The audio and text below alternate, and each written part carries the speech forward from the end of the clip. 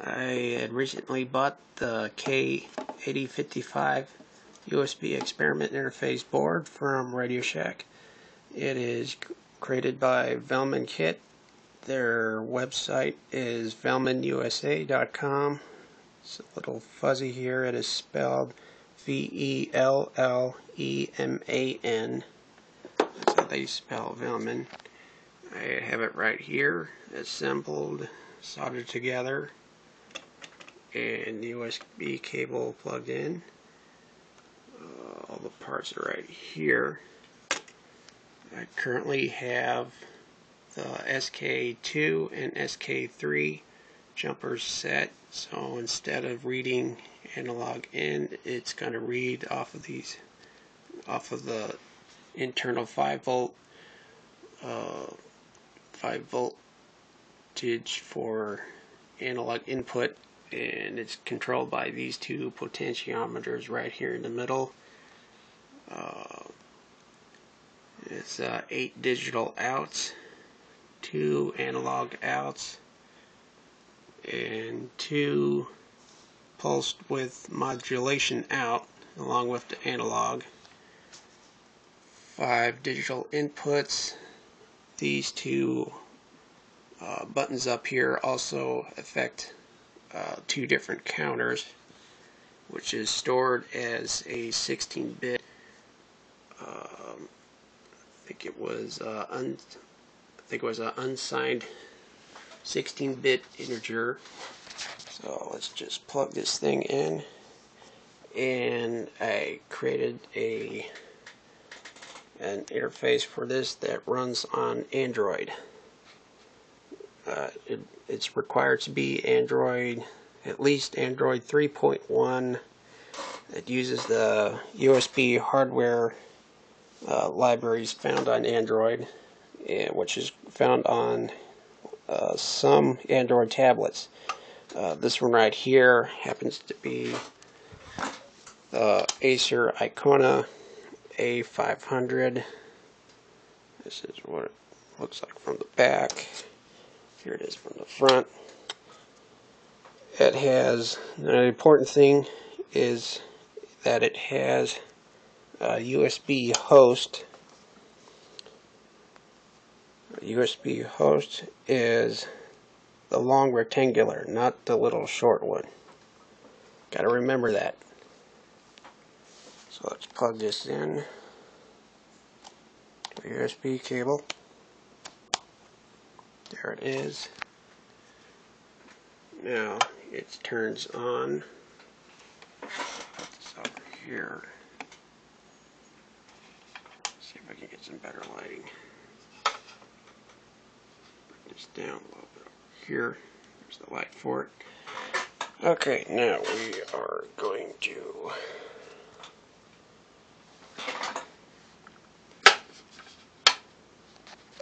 bring up apps demo. Here's the current interface for it. Uh, it's pretty simple. You can uh, you can download download this off the Android Market website. First thing we want to do, find the devices. Uh, it is currently listed as device 3. Uh, it is device 3 because there are two jumpers SK5 and SK6 right here. SK5 is on. SK6 is off. And so that causes it to be addressed as device number 3 um, total of four devices can be connect, connected to one USB bus. So your so a USB host is limited to four of these boards put together if you have some sort of hobby that's going to be using them. Okay, back to the interface we have device 3. We're going to select device 3. Come on over here, connect. We need permission to run because it is an external device. Hit OK connecting alert dialog And just to show things a little bit faster, we're going to set polling time. The minimum polling time is 20, which is based on 20 milliseconds. Uh, the 20 millisecond turnaround time is found on the front of the front of the package. It's some sort of performance thing uh, based on the chip. I think it has to do with the with the clock on the board itself. Okay, so we're going to set the polling time to 20. This is going to cause the monitoring thread to constantly read the read the status of the board constantly. Now there are two bars right here. These two are the analog in. This is the A1. This is the A2. This is the analog out. This is also the analog out. We have the five inputs right here. If you watch this, we can, flash. Hear that little clicking that is from the input. It's button two, three, five. Can hit a couple of these all at once. Now that there is also there's also two count two 16-bit integer counters. Counter one is set at 50, is currently at 15. We can increment this up some.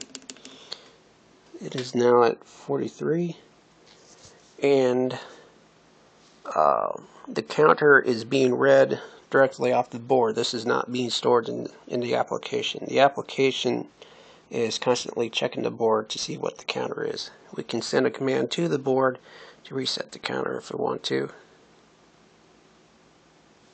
Set it to zero.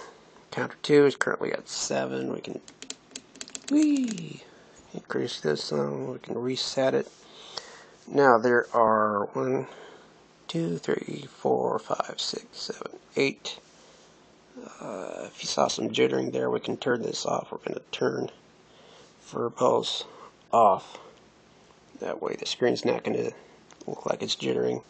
We currently have all the input outputs turned on.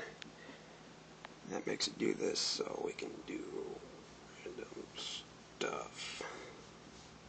Turn this on. Da, da, da, and we also have the usual buttons, clear all digital, set all digital. Oh set all digital, clear out digital, set analog, clear analog, um, DIC1 is a slider, sells this, turn it all the way down, turn this all the way down. If you watch this, we can turn that one off, turn this one off, turn this, the higher it is, the brighter the, the LED, turn this one on, brighten it up, go down, up, down, up, down, as much as you want. Turn on two of them. And, oh yes, the analog input, you can set that based on based on the two potentiometers right here. We just need a screwdriver, can dial this up go down, go up, just like that. It's being read directly off the board. Up, down, up, down, and all that sort of stuff. Uh, so if you have any projects or hobbies that you want to try to use this for, you can, uh, or at least get an idea of, of uh, something uh, that's that's Android based that's connected connected to these boards. Uh, you can use this application to give you um, at least an idea or a demonstration that it can be done with Android. Uh, thank you for your time. And donations are appreciated if you if you want to send me money. So, okay, bye.